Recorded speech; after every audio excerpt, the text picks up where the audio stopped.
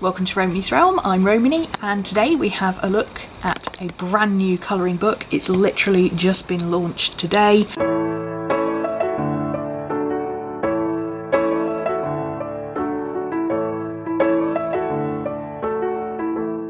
This arrived today.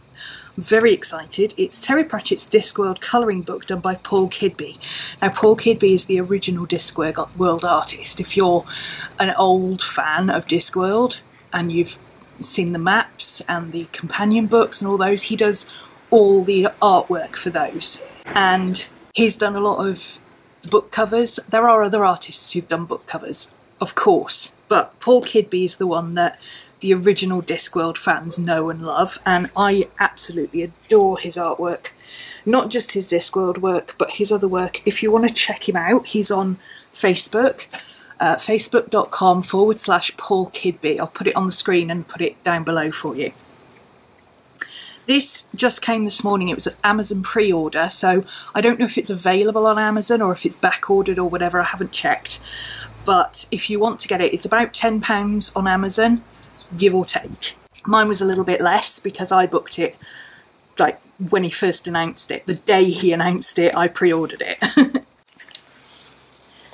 Inside we have some very in-depth illustrations, like literally the kind of illustrations he puts on the books. We've got some of his pencil work, but most of it is inked. And you've got a little bit of writing that goes with each um, artwork because the way Paul works is he takes a snippet of the story or the writing or the explanation or whatever goes with the story and he illustrates that. So although it's double-sided, if you did want to colour it with Copics to be able to take some of the pages out, you're not really losing a huge amount uh, other than the back of the pi pictures and you could always scan that to keep it as a reference uh, but you've always got it on the back of your picture anyway.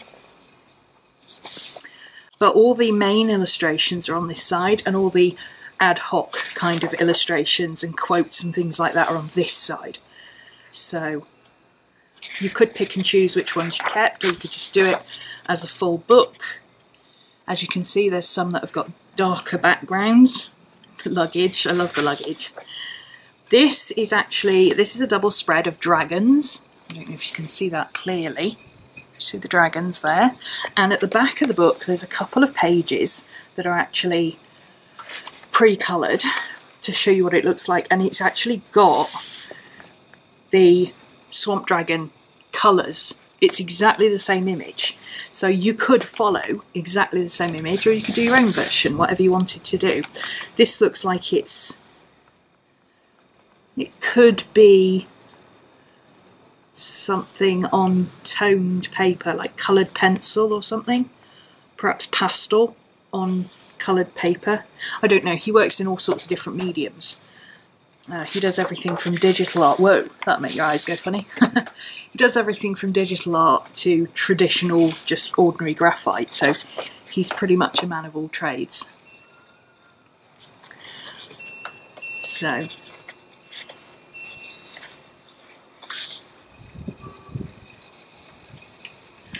Sam Vimes.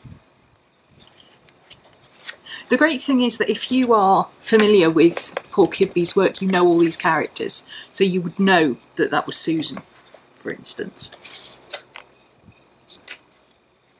The Small Gods.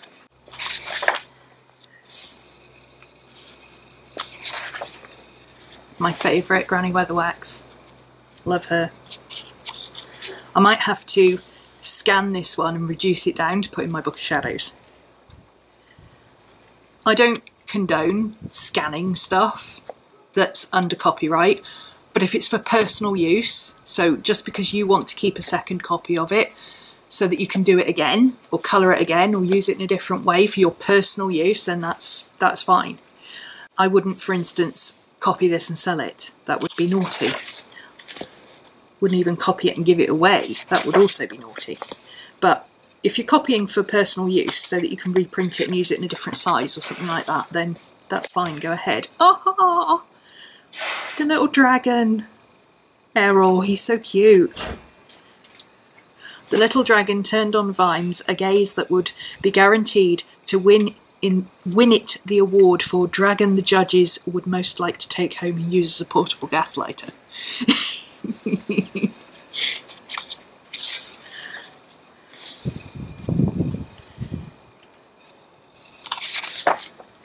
Oop!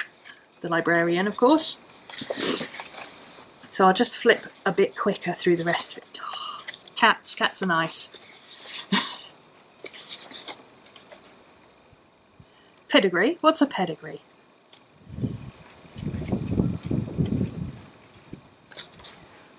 Mr. Huggy, I think he is. Leonard the Quirm's, Mona Lisa. it's got some really detailed ones, so if you wanted to practice shading faces, look at these. They're amazing. And there's a lot of the similar faces. So like this one and this one are almost identical faces. They've just got different expressions. So even to use these as templates to copy the expressions uh, to practice drawing, that would be pretty cool. I'm a big fan of Paul Kidby. I think he does amazing work. This one's also in the back. Again, three witches. Oh, there's apparently a lot of them are in the back because that's the one we were just looking at with all the wee free men. And that's the small gods. Rincewind, Soul Rider, Death and Cats. So yeah, there are some of these. There, there it is. So that's the line work, and that's the magic he did with the colouring. He's incredible. His, I mean, his line work is amazing anyway. But his colouring is just... Oof. Fantastic. Could learn so much from this artist, he's amazing. That's also in the book, that's that one. Again, the, the librarian, you can't see him very well there. He's printed differently on this page, so it cuts through the left hand side of his face, whereas on this one it cuts through the other side. There's a bit more gap between the rook and the crow, rook and the skull than there is here. In fact, I think it's differently sized actually because the elephant's quite close to the edge there. But on this side it's a lot further out. So it's just a different sized picture I think because it goes all the way to the bottom there. But it's got a white edge here so slightly different but not so different that you couldn't copy the colours if you wanted to.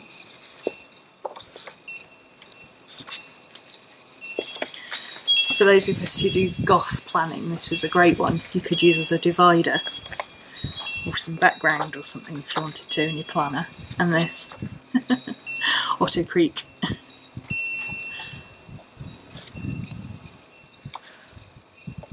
Death Rats, obviously. Can't have a book without the death of rats, Vetinari. Nanny Og and Granny Weatherwax again.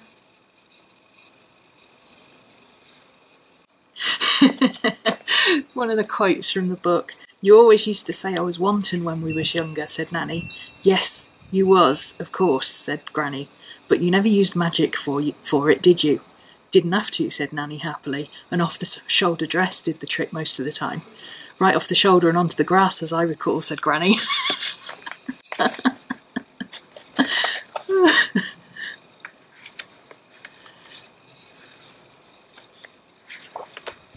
Just fabulous, absolutely awesome artwork. I can't wait to get going with this one. And of course you've got the pictures at the back, which I've just shown you, which you could you could use as reference, or you could you could even take them out of the book and put them up. I might do that with a couple of these. It's almost worth for for the price of the book. I mean, I've got the book for like ten pounds on Amazon. For the price of the book, you could get two and have all these prints. Or, of course, I think Paul Kidby actually sells prints, but they don't do them this size. They do like proper big ones, good quality. They're not on thin little paper like this. So there you go, that is the Terry Pratchett's Discworld colouring book by the amazing artist Paul Kidby. Did I mention that Paul Kidby is absolutely amazing and one of my favourite artists? Because he is. so uh, run, don't walk. Go and get one of these. It's fabulous. Like I said, I got mine on Amazon. It is UK priced. Uh, it's nine ninety nine UK. I don't know how much that is in Americanese anymore. It could be anything. The pound keeps changing. I would guess around $12. Uh, Orion Books it's printed by, but you can probably get it if you need international postage. You can probably find it on the Book Depository, who do free worldwide postage. No, I don't get plugged for saying that. I'm just saying, you know, if you can't find it on Amazon because it's a UK book, bookdepository.co.uk almost certainly have it and they will do it as an international order. Okay, so hope you enjoyed that quick look at my new colouring book. Hopefully I will get to show you some colouring in it very soon and uh, I'll see you again soon. Bye!